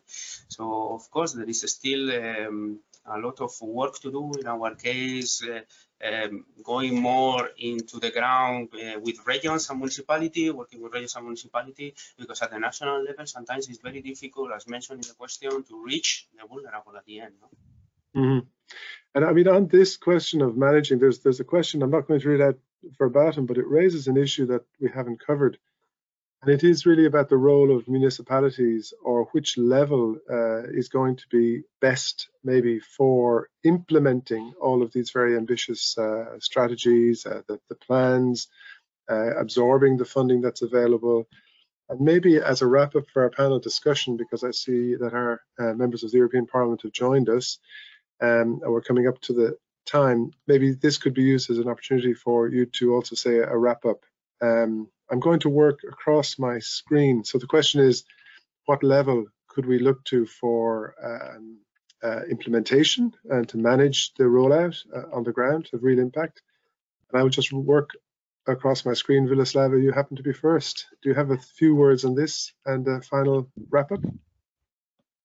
Thanks, Adrian. Uh, I think probably others are better placed to comment on that. Uh, I think there is a space from what we've seen is countries have taken very different approaches to who actually delivers. And I think there is space for different models. It would really be country dependent. And I think people on the ground are best placed to, to figure out what works in that context. Okay, Hugo. Um, I fully agree with the with the with the colleagues. No, it depends of uh, each uh, country reality, but we also have in the middle of the regions. No, um, look into the different 30 components and the different support schemes, then uh, I think we have, have a very productive discussion on which uh, money should channelize through regions and also working with the municipalities. And, and uh, for instance, we have seen two clear cases, which is, of course, when you want to renovate public buildings at the municipal level, of course. And, and as I say before, because they do the first aid social assistance, trying to work with them in designing and also implementing uh, support skill looking to vulnerable uh, households. Thank you. Thank you, Hugo. So, Irena, you're next. So, in Croatia, the coordinating body for the whole plan is Ministry of Finance. Our Ministry of Construction uh, is in charge for this component, uh, building renovation. But then we have many stakeholders here, like uh, City of Zagreb, Ministry of Culture for cultural heritage buildings, uh, faculties, national agency, many, many stakeholders uh, on many levels are involved. Okay, and well coordinated, I hope. Yeah, by us. Yeah. Good, okay. And James, you have the last word in this panel. Thank you. I'm not sure that's deserved, but um, I would say it sounds like Irina has someone that's coordinating it. So for me, uh, maybe just I would say maybe a bit controversially that if the directives can be set and, and there's someone that's going to help, like DG Regio or reform or work with people um, on another. I want to say the word enforcement, but I don't mean it in that blunt way. But how do you collaborate to make sure that actually these things are actually adhered to? Um, because I think then that's that's very key. But ad adhered to at that level, but with coordination of how that actually happens individually on the ground with different departments is is key. Okay. Thank you, James. And thank you to all of the panel, to Vilislava for presenting the study, uh, Hugo from Spain for giving the Spanish perspective, Irina from Croatia, and James uh, from the UK, Green Finance Institute. Very sorry that we didn't have Livia from Slovakia, but we had technical problems, and Martin, happily an MEP from Slovakia, might fill some of the gap uh, in a few moments. Uh, but once again, thank you. Uh, if it was a live conference, I'd call for a round of applause, uh, but uh, we can't do that today. But please stay on, on the line and maybe uh, if, if there's an opportunity, you might even jump back in within the next half hour. So thank you very much indeed. And to the audience, I would say, I hope we've encouraged you to download and read and promote our study and to use it for uh, your own uh, purposes. So now I want to turn to an equally important subject beyond the, the recovery, uh, which is the question about what will the EU legislative framework look like for buildings moving forward? And uh, I think a lot of the audience will know that the key directives, the Energy Efficiency Directive and the Energy Performance of Buildings Directive, are both up for revision uh, and recast this year. And uh, there's going to be quite a lot of negotiation around these uh, two directives and the rest of the Fit for 55 uh, package. Um, but I suppose our hope in the Renovate Europe campaign is that the measures to be introduced in these directives will be appropriate to boost the rate and depth of renovation to really put the building sector on the path towards climate neutrality by 2050, meaning highly energy efficient and decarbonised. And so on that note, I'm absolutely delighted to welcome two of our champions from the European Parliament. We have Sean Kelly from Ireland, uh, the EPP group, and we have Martin Hojsík from Slovakia from the Renew group both of you well known within the circles of energy efficiency, financing, uh, industrial policy, etc. But Sean, over to you first for uh, a few opening remarks. Uh, can you maybe, uh, you're, you're, at the moment the rapporteur for an implementation report on the existing Energy Performance of Buildings Directive. Could you share with us what you're finding as you do that uh, report and maybe what it's telling you about what measures should be coming uh, moving forward? Five minutes, Sean. Yeah. Thank you very much, Adrian, and hello, everybody. Yeah, this is a very interesting and exciting topic at this particular time, especially as uh, the renovation of the EU's building stock is a key component of the Green Deal.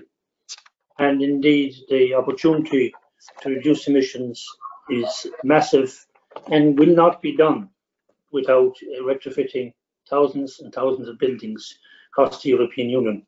There's a goal to renovate 35 million buildings by 2030, supported with a funding of 672.5 billion from the Recovery and Resilience, Resilience Facility, and that is a massive economic opportunity which must be grasped. And of course, it's quite clear if we don't grasp it, then the climate targets which we have are not going to be reached.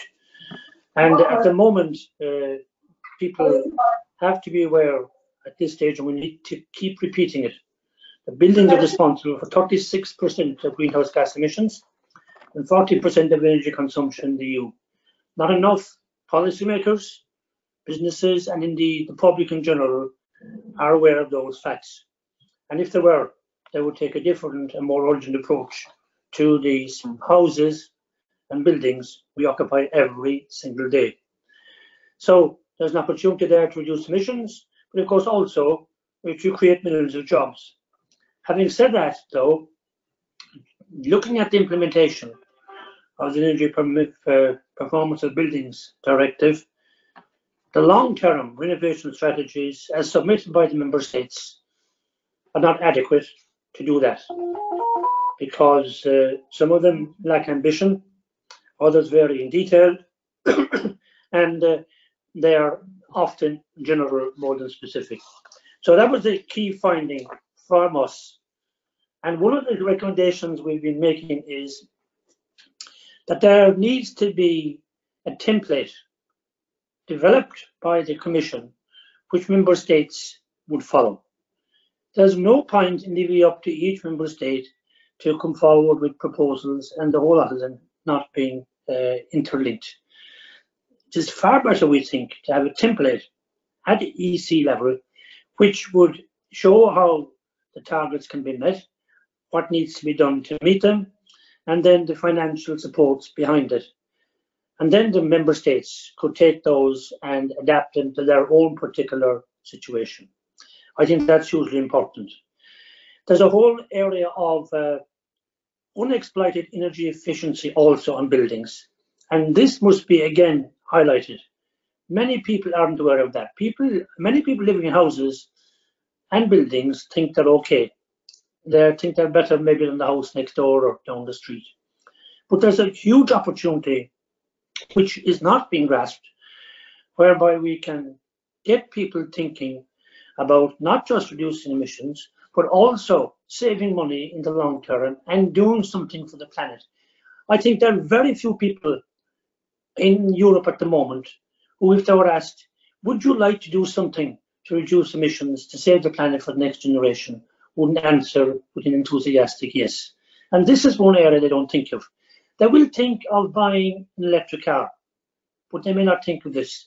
So I think we have to put this before them. And also going back to the last point you mentioned, Aidan, there with your panel, uh, municipalities. There has to be a kind of a target for municipalities as well as national targets and European targets. And that I think would make a big difference as well. So the other point which we want to emphasize is that the energy performance certificates are also inadequate. They have to be uh, actually based on reality, not estimations. So things like comprehensive access data data is very important, smart metering and real energy performance has to be looked at. So again, the people and uh, consumers, those who are purchasing houses, selling houses, actually will be reflecting the reality of the situation. So all this is very important because it reflects jobs, it will, affect SMEs, it will affect how we're going to actually uh, meet our carbon targets. And if we don't, we're not going to do it. But it doesn't seem to have the urgency, Adrian, that all other things seem to have. They'll talk about energy efficiency, fine. They'll even talk about renewable energy, yes, all for it but the practicality of buildings seems to be a little bit further down the line, whereas it should be up on top because it affects everybody's living health and comfort and the reduction of emissions every single day. So that's what we'd be hoping uh, from our report that the Commission will take and then bring back when we do the recast of it, uh, probably into this year or early next year. So thank you very much, Adrian. And thank you, Sean, for those uh, wise introductory words and for giving us a, the scope of the implementation report that you're uh, currently uh, preparing with colleagues at the at the Parliament. And I might come back on some of the detail, uh, maybe to to to, to uh, um, incite a little debate. But Martin, over to you. Um, as I said, uh, your colleague, unfortunately, Livia Vasaskova, was not able to join us earlier for technical reasons. I don't know if you want to make a few comments on what you've been able to see of the study we we, we um, uh, prepared. But in fact, we were looking for your views on these directives, the Buildings Directive and the Energy Efficiency Directive. And I'm aware that you're keen on sustainable finance as well. So, Martin, five minutes uh, introduction on the, these topics and what what can we expect coming downstream? What should we be calling for. Thank you, Adrian, and, and, and thank you for the opportunity to be here. I think the the building sector is indeed, and I agree with John, Shane, uh, really, really important uh, on not only our path to carbon neutrality, uh, but also I think it's important in terms of a circular economy. Just yesterday, actually, I was on the workshop with the Bulgarian construction industry, looking at the circular side of the of the buildings, and I think this is something where we always have to keep in mind the the holistic picture of the challenge so we don't kind of then uh, lose the track of different aspects and end up with uh, deep problems. Now i'm not gonna attempt to replace what uh, livia vashakova was was planning to to say i looked up at the uh, slovak uh, more in depth at the slovak uh, chapter of of your report to be able to assess as well. I've been in, I've been kind of following and, and commenting on the uh, preparation of the national uh, recovery and resilience plan uh, for actually since the very beginning. Uh, but I'll try to kind of put it into into uh, a bit more across my my contribution. Uh, because I think the this is not only specific for Slovakia. These are the challenges that we need to address across the entire Europe. What we see actually now it's a, a, situation with the energy prices that it's gonna have i hope positive impact despite the, the really uh, hard situation. I hope that it's gonna have a positive impact and uh, show people that we need to really go and address the energy efficiency and energy independence honestly because the whole thing is based on uh, the problem with the gas supplies from russia it's not like we suddenly consume much more. Um, in terms of the uh, building sector, also uh, what we face is a situation where we again need to emphasize the energy hierarchy. We are uh, having often discussions in the parliament about the transitory uh, transition role of gas and I'm not saying we shouldn't use any gas at all, but it should be the last resort. We need to really first start with uh, energy, the use optimization, energy efficiency, renewables, and only then as the last resort any gas. And I think it's very clear now with the uh, high prices of gas that uh, the less is better. Uh, and not to mention the whole uh, climate aspect. And also, let's be honest, geopolitical security because no one wants to be dependent on uh, autocratic regimes. Now, I think here what we have to also keep in mind is that, and that's one of the challenges that has been one of the challenges, and we have to keep an eye on it in Slovakia for the future, is we need proper deep renovations. We need renovations that are not just plastering some uh, isolation on the top of a building, on the outside walls of the building. We need proper in-depth legislation. Therefore, I was concerned and I was discussing with the Minister uh, of uh, Transportation and Construction uh, last week in Slovakia, the worrying trend that they want to actually regress on the st energy standards for building. They want to make them actually weaker. Mm -hmm. so sometimes, you know, you have a hard work by civil servants and then, you know, the politicians are doing weird things. Uh, and I think this is something which uh, uh, definitely we need to keep an eye on that we don't have any regression on the standards. I hope this will be averted in Slovakia, but I think this is something which needs to be watched um, in uh, across the entire union. I think there might be attempts to, to water it down. Second, what is important is uh, that we look at the not just the supply chain in terms of uh, people being able to deliver.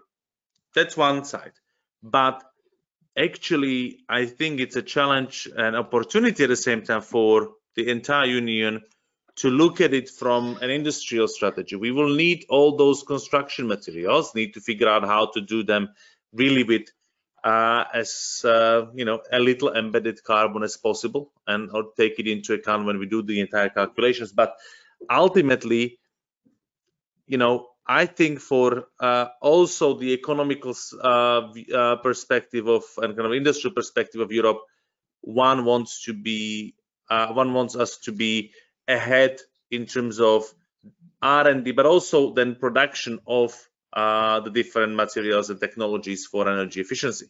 Not that we offloaded everything to other countries. And this is bringing multiplier to the job. So we talked about the jobs in the construction industry, but it's not only the construction industry. You need to get all the materials. You need to get uh, all the technologies uh, done and produced. And I think these are additional jobs that should not be overlooked. And that's also at the same time a risk in terms of the supply chain bottlenecks. What we see now with the global disruption of the supply chains, down to the uh, increase in uh, the prices of construction materials, is already putting some strains and kind of uh, pressures on the estimates of what can be delivered with the RRF money. Now, last but not least, getting to the money, yes, we have to be more ambitious. And actually, I think there is still space for grants, but what we really need to look at is how to combine public and private funding. And uh, yes, I'm going towards a taxonomy uh, where I'm the group shadow because I think this is this is what taxonomy is for. We have clear here number of uh, a fully sustainable, so fully green activities, but also enabling activities. So you wanna invest into a factory that is gonna produce, uh, I don't know, uh, energy regulation equipment. That's an enabling activity. So it's also taxonomy compliant, maybe not that, not fully green, but still something that is taxonomy compliant. And I think this is where we can't wait any longer for um, having the uh, delegated act uh, on the uh, climate in force, because this is about really the, the mitigation and the properly green activities and links to the enabling activities. And I think this is where we need to see, and I would like to hear also, and I had discussions with, with, with banks uh, in Slovakia, which are part of, of the kind of international banking houses, and they're very, very keen to start looking for models of combining public and private money, getting it out to the consumers, and in collaboration with uh, with the state, establishing local technical assistance. So I was happy to hear this um, intentions within Slovakia. I think this is something which we need to see and uh, across the Europe. I hope we manage to make it happen in Slovakia, but we need to see it across the Europe when the efforts and the possibilities get closer to people, they will have, you know, especially to the to the uh, people who are facing energy poverty, they will have uh, programs of combining private and public finance to get the reconstructions done.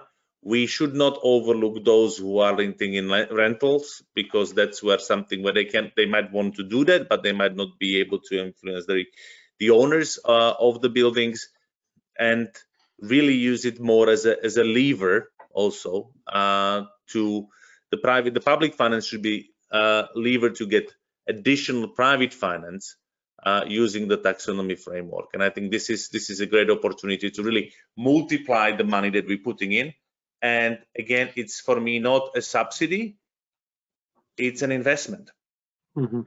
again it's really investment not just and i agree with you not just in our future and survival as a civilization, but actually it makes perfect business sense.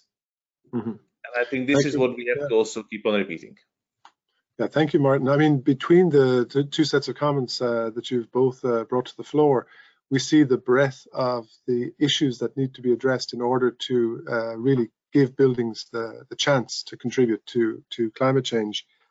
And I see a number of questions coming in on the uh, Q&A box to me. Uh, they cover the taxonomy, they cover other elements, but there's a couple of things I thought might be interesting to just tease out with you first. And so I'm going to put two things on the table. First of all, in terms of financing, uh, there is a, a, an event that we're that's taking place in the framework of Renovate Europe tomorrow, where a concept for a mortgage portfolio standard is going to be launched where part of the idea is to have preferential loans or additions to an existing mortgage available at every street corner in Europe, uh, where uh, uh, and available because the banks would be obliged to improve the energy performance of the assets that they hold in their mortgage portfolios over time, in the same way as a minimum energy performance standard works at the individual building level uh, and uh, that will be launched tomorrow. So I wonder what you think about that. Is that a good idea uh, uh, to have a mortgage portfolio standard for banks? Secondly, you'll both be aware that the Renovate Europe campaign has been a, a, a promoter of deep energy renovation over time.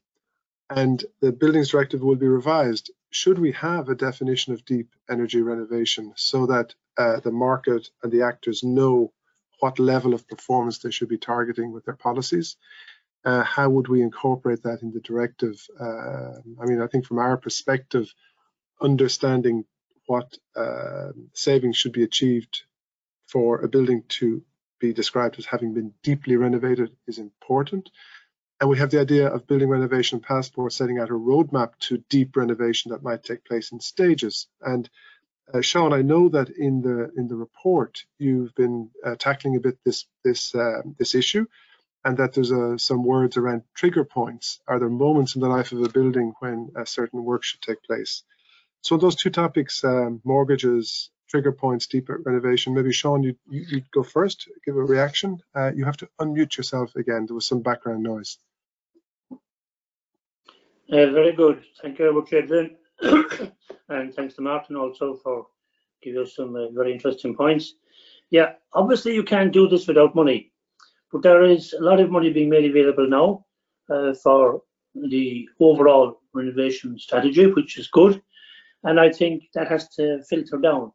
And your idea of a mortgage portfolio actually makes an awful lot of sense because every industry, every business, every individual in Europe has now a responsibility to help us meet our targets. Fit for 55 by 2030, zero emissions by 2050. So banks, of course, have to give priority uh, to aspects that are helping the Green Deal to reach those targets and make it easier for people and give assurances as well. Then the whole question you mentioned about deep renovation, I think this is where the Commission has to change its approach. And that's why I mentioned uh, the LTRSs.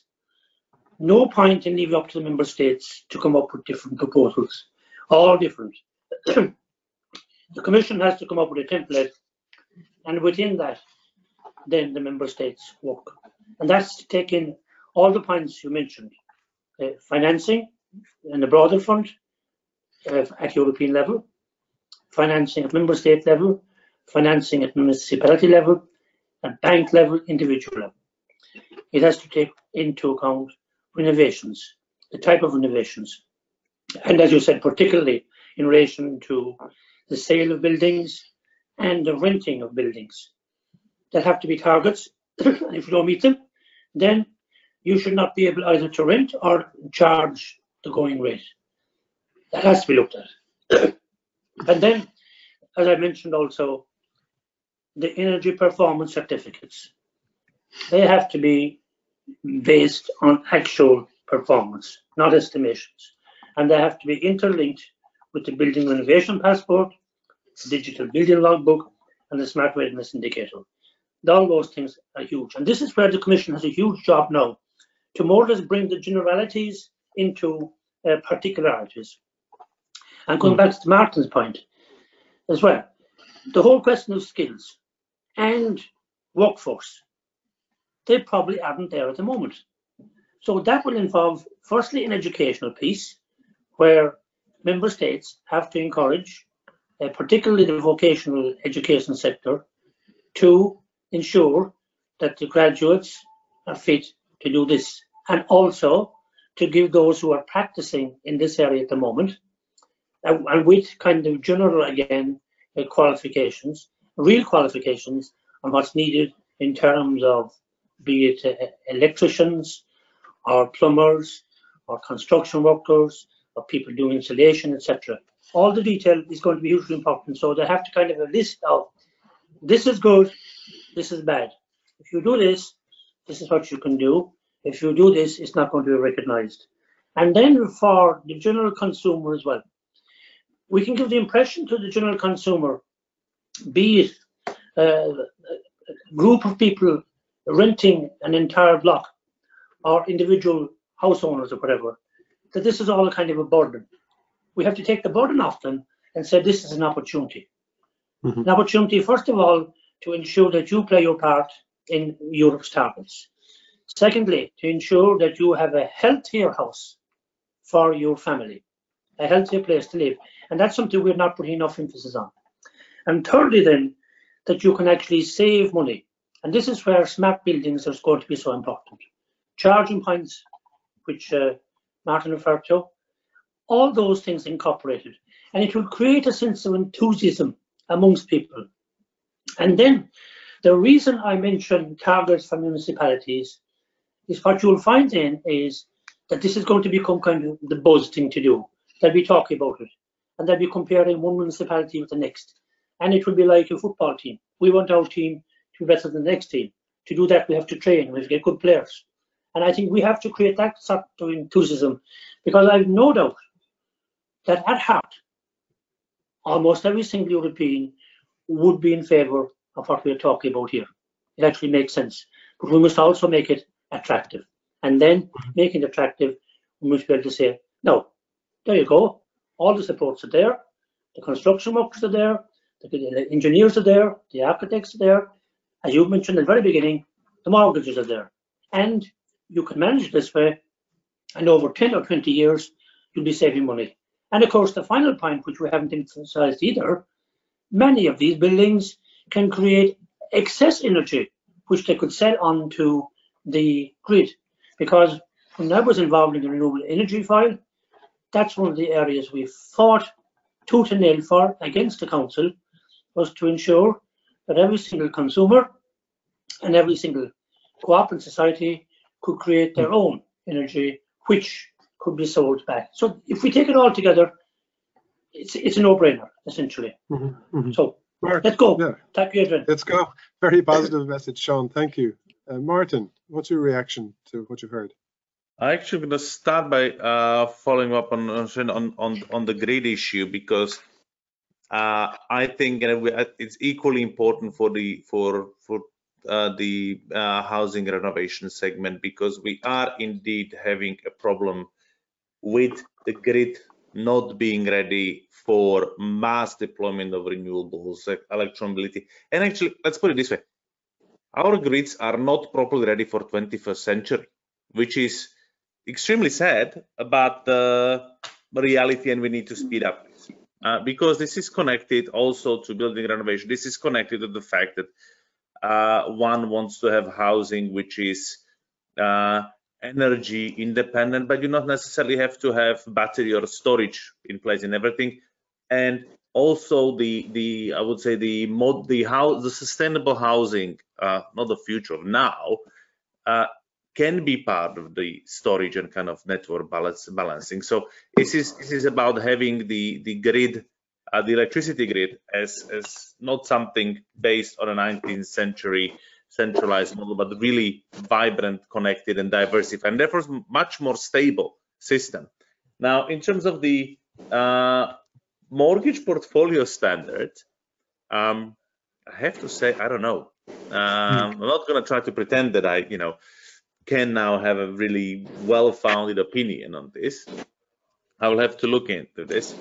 For me, it's uh, I was coming probably from the the uh, direct funding from point of view of taxonomy and having uh, securities backed by the so kind of how do you label it in taxonomy so if we go for portfolio standards in terms of mortgages i am a bit concerned that it kind of gets repackaged and sold and repackaged and you will not really know what's in there so i, I would say that it's using the taxonomy system so having mortgages Pala based on the, on the uh, underlying security. So it's kind of connected to concrete activities. So you get a mortgage to improve the energy efficiency. So it could be as activity uh, class or even adaptation. We haven't really talked about adaptation, but that's important part of property renovation. Uh, you know, adaptation because then you also need less energy on top of it. Uh, so pro- connected to proper activities uh, as classified within taxonomy you could have ultimately mortgage-backed securities that are taxonomy compliant, in my view. Mm. Although uh, one would have to, you know, get the financial expertise on that. And I don't want to count now that I want all the in and outs and details of financial markets.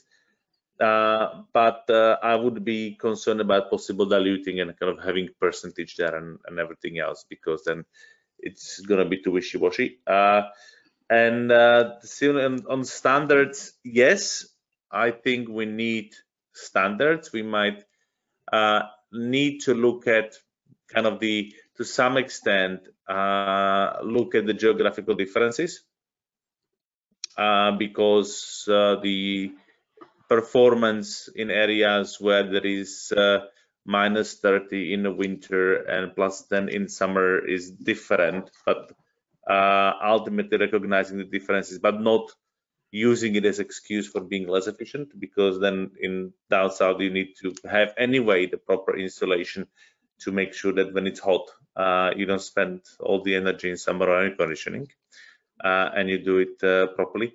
So uh, we should have standards. I like the idea actually uh, uh, of having certain things done stepwise. It might not be possible to do everything now so financially. We just have to make sure that it's not that we don't end up in um, dead end roads or stranded investments mm-hmm. and yeah uh, subsidies for gas boilers for me is uh, now not a good idea mm-hmm. especially if it's not mandated but okay you first have to do a deep renovation and then you might consider whether you want to have a have a gas subsidy for gas boiler on top of it so that's where and even then you can go for for gasification and, and a heat pump i think in in mm. much better way because you're not changing uh, your heating source every 10 15 years this is a long term thing so uh, standards yes uh, faced things with with conditions and if done properly Thank you so much, Martin. Um, I see that uh, Sean must have had a hard stop at five o'clock because we've just drifted over the, the, the hour. Uh, so I can't thank him in person, but I hope his staff are still on board so that they can hear how much we appreciate what Sean has said. And Martin, I think I will draw the debate to a close. Uh, it's clear that uh, were we in an in-person circumstance, we could continue a discussion maybe over a beer. That would be very nice. Uh, but thank you so much for taking the time to be with us and uh, that we will keep in touch over the period ahead. There were a number of questions I didn't get to from the question and answer box. We will, of course, record those, and uh, if it's appropriate, we will come back uh, with answers. So, Martin, thank you once again for being with us this afternoon. Thank so, you very much Okay, thank you. so, ladies and gentlemen, I hope you found that this conference was uh, stimulating and informative. And uh, for us in the Renovate Europe campaign and for our partners, uh, you can be sure that over the coming period, we will continue to track developments uh, in this field and report back on them, in particular on what's happening with uh, energy renovation programs and schemes under the recovery plans in the next five years to 2026.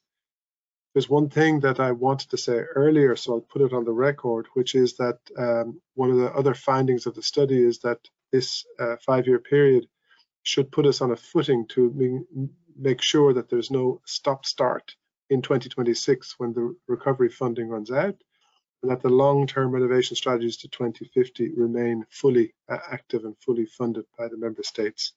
We see that as a key issue. In terms of what the Parliament have uh, shared with us, we can see that there's a lot of work ahead. Understanding how to get the balance right across the different directives will be a challenge in the period ahead and Renovate Europe and its partners will work in that direction. So once again, I want to thank my own staff, uh, uh, E3G and the graphic designers for helping put this event together and make it uh, what I think has been a rollicking success. And just before I go, uh, for those of you who are Brussels based and who've registered, remember we meet tonight to celebrate the 10 years of the campaign and uh, we will be there in person with you, uh, well, hopefully in about half an hour for those who can make it. Uh, so with that, I wish you all a good end of the day, and I look forward to interacting with you in the months and years ahead. Thank you for your attention. Bye.